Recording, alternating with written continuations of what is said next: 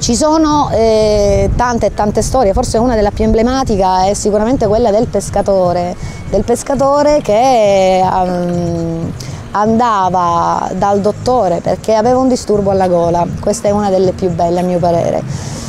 Il medico che curava il mm, pescivendolo, naturalmente ben felice di accoglierlo, con eh, le ceste di pesci che, gli portava, aveva eh, naturalmente particolare cura del povero pescatore che era afflitto da questo continuo e perpetuo disturbo.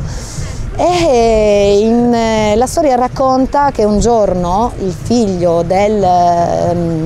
eh, del dottore allora studente, eh, laureando,